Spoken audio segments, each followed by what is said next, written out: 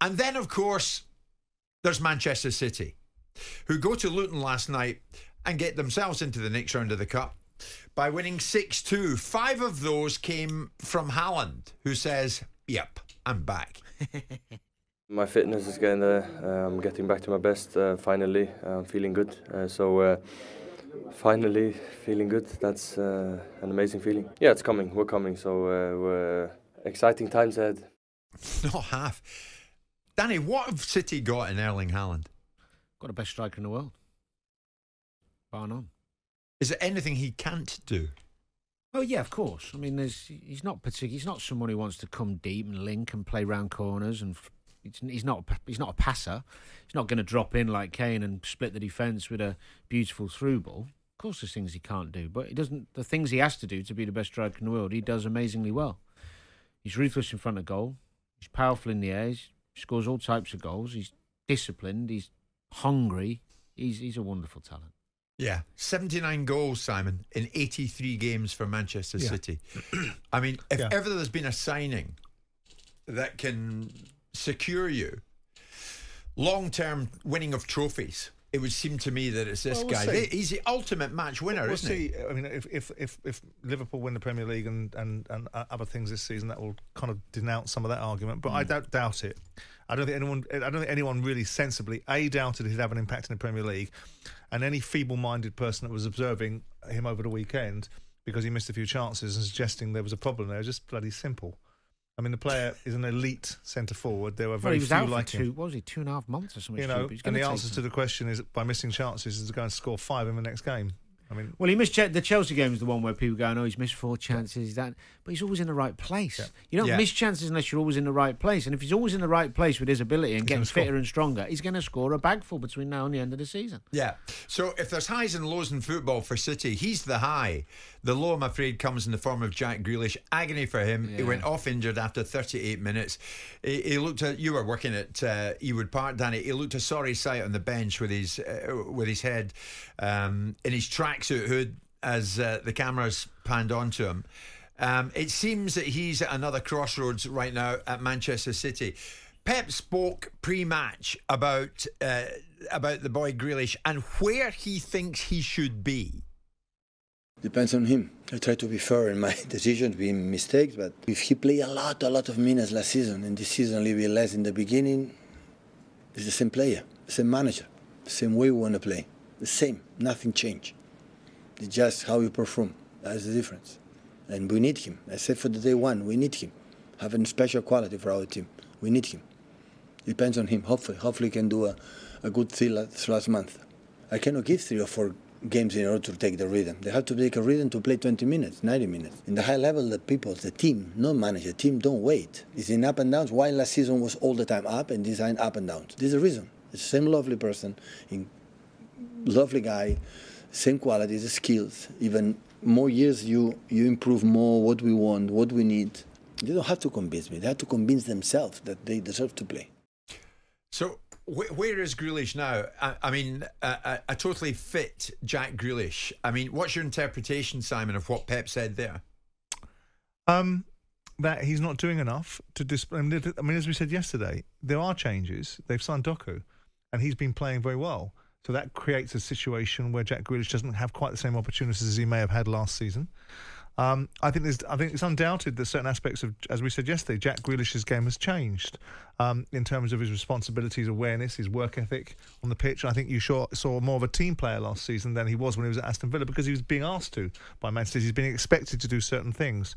This season, clearly, for whatever reason, he hasn't shown for a combination of injuries and other people playing well, and perhaps when he's coming on the field himself not being as influential as he'd like, the opportunities. And perhaps he's also not demanding it. I, as, again, I said, as I said yesterday, it feels like there's a, a call to action there that Jack Grealish needs to demand and expect to be in this side and isn't exhibiting those characteristics. Because when he talks about he's got to convince himself, that to me, I, mean, I don't know what Danny thinks as a former player, that to me suggests that, that Jack Grealish isn't hammering on his door saying, why am I not playing?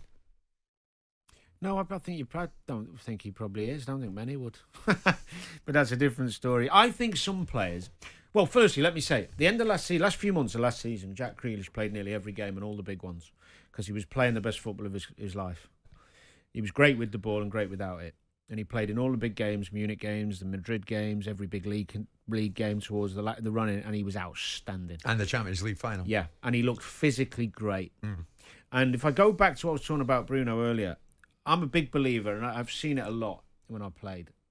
Some players physically need to be playing regularly to gain momentum and physical peak fitness and really be at their best. And some players are much better at being in and out because they're more dynamic, they're built differently, they could could be mindset, but generally it's physical. Someone like Doku who can come off the bench and be impactful and look dynamic, and then he can start and he goes past people and he's great on the eye and he's got that wonderful athleticism and he's toned and he's, you know, Jack's a, a big lad, you know, he plays a lot of. He's a dribbler and he, he, he fights people off the ball and he glides and he does all those things. But when he's not physically at it, he does look again a little at times a little bit clumsy. So I think he has suffered a little bit by being in and out and not being able to gain momentum, not being able. And then of course, what comes with that, irrelevant if you're at Man City and what you've done before.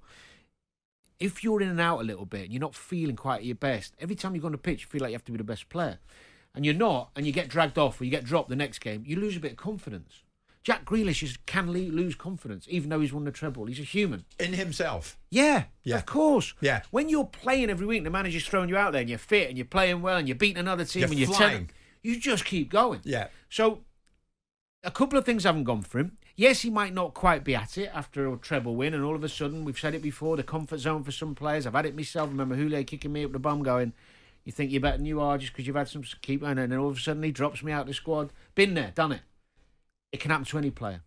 The best ones are the ones that don't let it happen and keep going and perform at that level. Yeah. The Rodris of this world. Never performance does not drop. But it's not going by the script for Jacket at the moment. But he's just it, got to show Simon? some resilience, Jim. He's got he's got to just get his head down, get himself fit. Yes, it's hard when you get an injury. You can get an injury if you're fit, if you're not fit in a good place, bad place. He's got an injury. Get yourself fully fit now and try and impact the last bit of the season because he is a super talent and he's just got to grit down and show some resilience, not feel sorry for himself and crack on.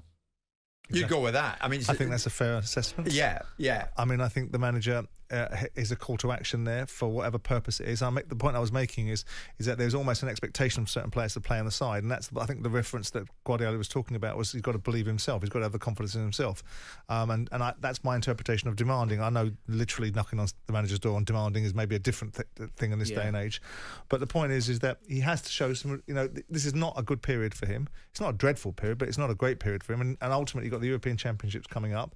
He's got to show some resilience. If you look at Foden now Oh. He's playing at a level that Pep Yeah. can't leave him out. Right. And and many seasons gone by, although we've eulogised about Foden many times and rightly so, Yeah. he rarely plays five, six games on the spin in previous seasons. This season, it's like the penny's dropped and he's gone, I'm going to play that well. He's going to find a place for me somewhere Yeah. and someone else is sitting on the No, bench. absolutely. And that's what he's talking about. pains pains me to say it and worries me greatly, but I can see Foden with that uh, Euros trophy in his uh, in his arms uh, in the summer. You mean Scotland aren't going to win it? Sadly not. Uh, and if they do, you'll never see me again. It's quarter to eleven. Jim White and Simon Jordan.